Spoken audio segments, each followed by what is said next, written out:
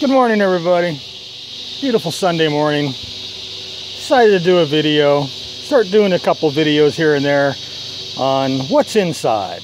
You know, the most common things that scrappers pick up.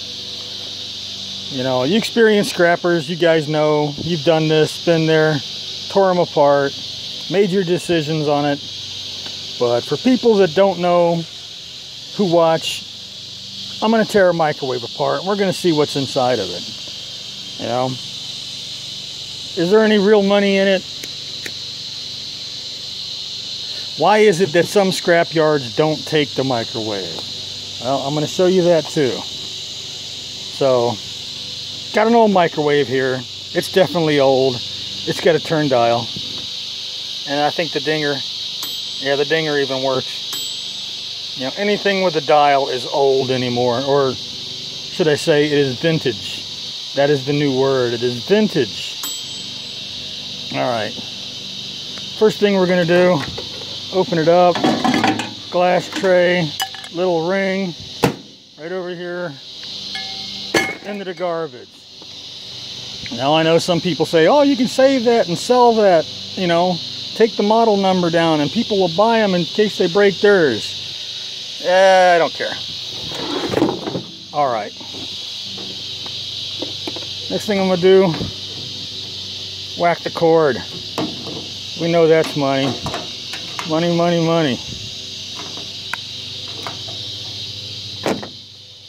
All right, then best thing to do is to look it over, see what's holding it together, what kind of screws. Nine times out of 10 in the later models, the, newer models, they use Torx. And more specifically, they use safety Torx you know, Torx is most commonly referred to as the star bit.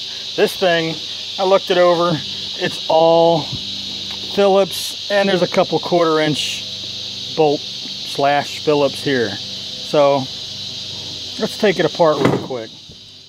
Got the old screw gun, got the Phillips driver. Let's rip it apart.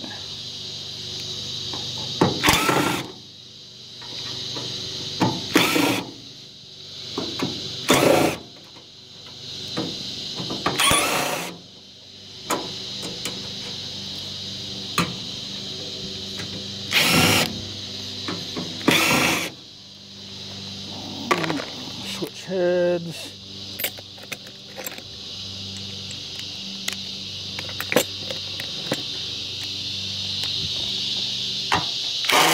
Oh, ooh, a little bigger, huh?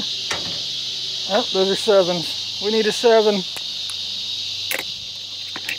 I got an eight. Now it's a seven. All right, run to the truck, the car, SUV, whatever the hell they call it anymore. Mm, get a seven millimeter.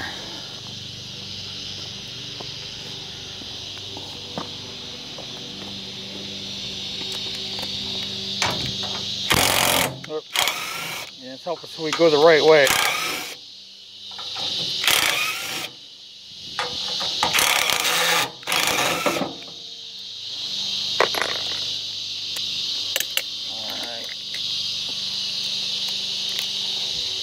Back to that. Flip there.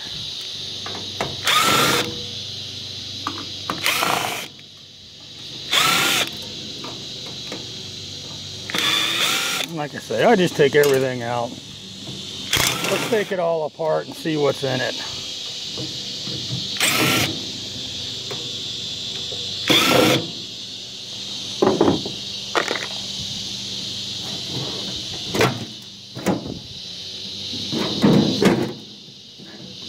Alright, we got a sheet metal. That goes in the old tin shred pile. What do we got here? All right, well, there it is. Not much to look at. What do we got? Nice big transformer. That's always nice. Got some wire there.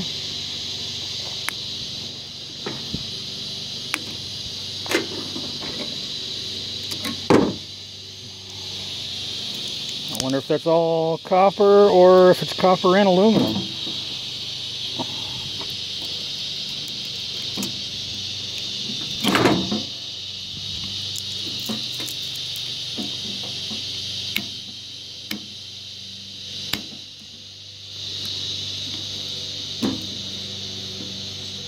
to do is scratch the wire.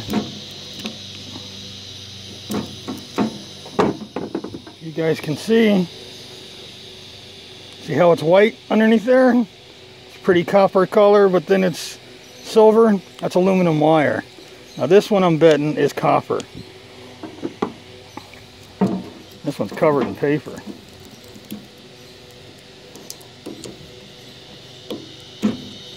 Yep, that one is copper. That winding there. But anyway, it's a nice heavy transformer.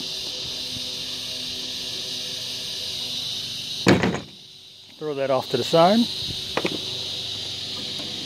Now we're going to clip some wire.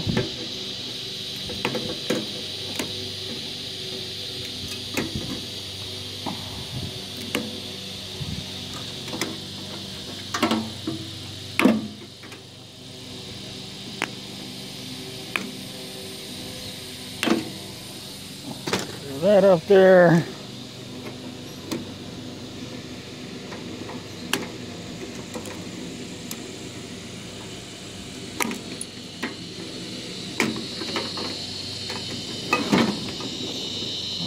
Clip all this out of here.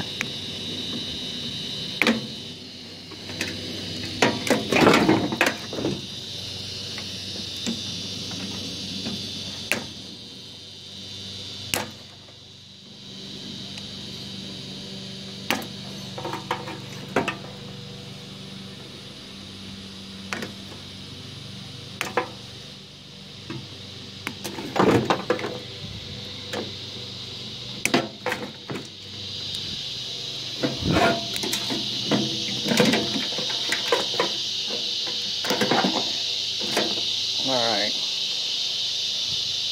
Got my wire. Got to clip all the plastic out of it. My scrap yard is very finicky about stuff that's supposed to be clean is clean. And even the insulated copper wire.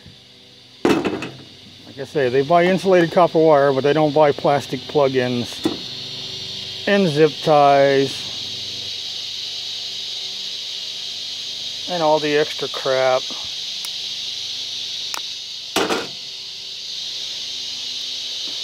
This one's going to give me, of course I'm using the worst pair of side cutters I have. Throw that up there. Plug-ins, go in the trash. Alright, so what do we got here? Capacitor. My scrapyard doesn't pay anything for capacitors. I just throw them in my tin shred because all they are is an aluminum housing, but they're full of oil, so they don't really like to take them. So I just throw them in with the tin shred. Alright, what we got left here? Well, fan motor. This is the cooling motor for the Megatron. Magnetron, Megatron, yeah. I just went all transformers on you. Alright, but that's a decent amount of little copper. It's easy enough. I just take my side cutters and cut it, peel it out, or you can sell it the whole thing as a motor. Now, let's throw it at the transformer. That's where I got transformers, huh? Alright, what do we got on the bottom here? Yet another motor. This is the one that makes the little turntable turn around.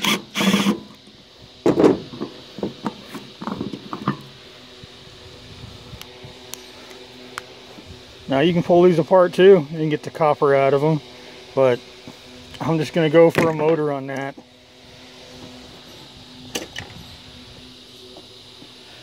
Alright, what else have we got here? Alright, now here is the magnet. Look at that, Daewoo. Didn't they used to make cars? I think they still make heavy equipment, but Daewoo. um, this is the reason most scrap yards will not take a microwave is because of the magnetron. The magnetron actually has hazardous material in it that has serious health risk issues. So let's take it apart. And I'll show you exactly what I'm talking about.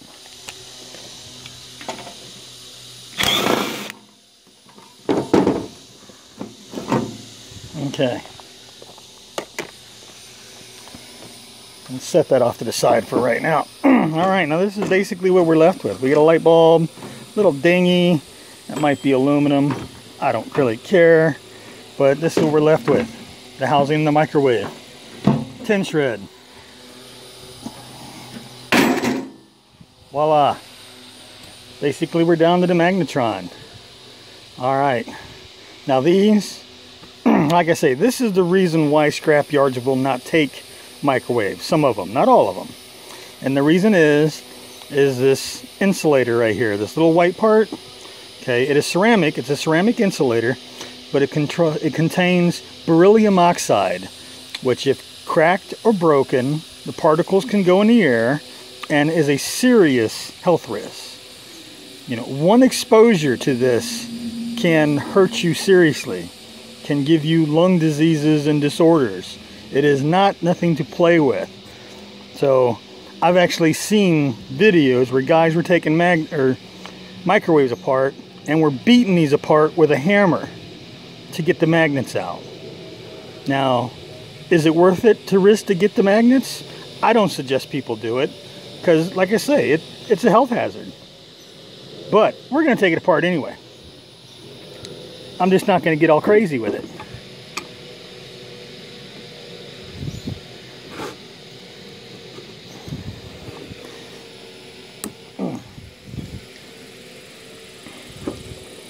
We're going to go ahead and take the magnets out.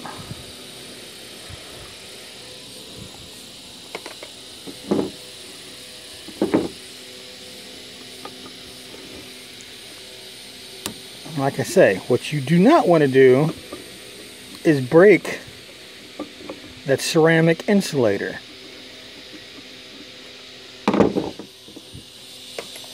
Because that beryllium is not a joke. It is magnetic, so you got to pull to get it out. That's just tin shred. I'm going to throw this in my bucket. Yeah, I'm gonna throw it near my bucket. All right, in the bucket. All right, what we got here is this is a brass mesh washer. So hey, it's brass. Then we have our magnets and the mag magnetron. Now these washers here are stuck pretty good usually.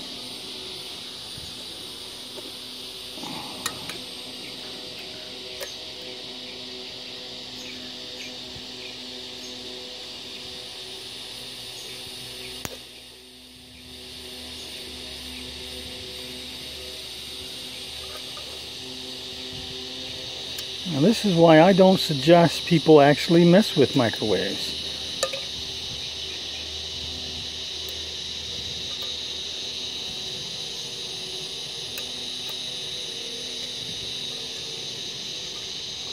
And like I say, this is the reason why the scrap yards don't take them.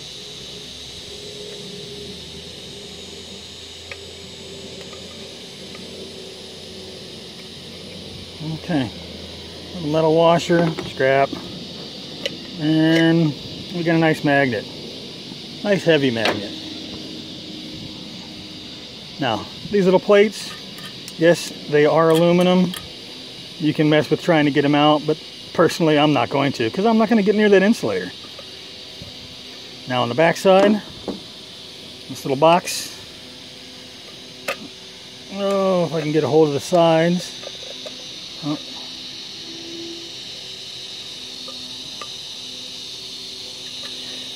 Get it peeled open. Oh wow, look, copper.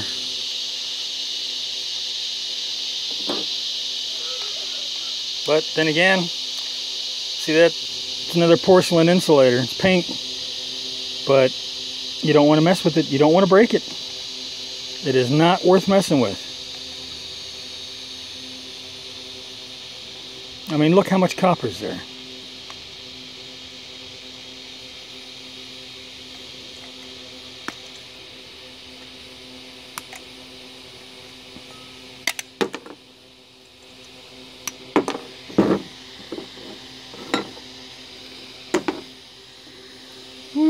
Risking your life for that. Now, actually underneath this is another magnet. There's another big magnet back there. Now, am I going to tear this thing apart to get it? No, I'm not. It ain't worth it to me. It's not worth it. Okay? Not to me. You guys can make your own choice. You know? So that's it. That's the microwave. Disassembled, scrapped out.